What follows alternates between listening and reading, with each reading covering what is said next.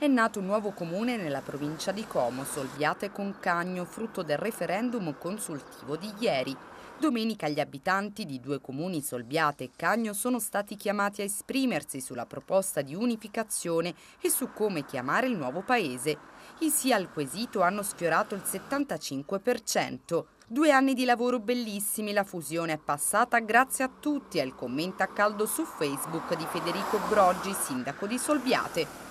Il percorso di fusione è stato avviato dalle rispettive amministrazioni nel 2016. I sindaci Broggi, Solviate e Claudio Ronchini di Cagno hanno organizzato confronti con i rispettivi cittadini per analizzare e valutare vantaggi e criticità che una fusione avrebbe portato.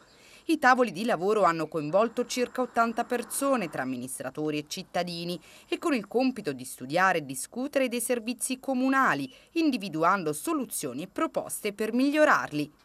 Il nuovo comune nascerà ufficialmente il 1 gennaio del 2019. Avrà 4.634 residenti che saranno chiamati ad eleggere il sindaco alla prima occasione utile.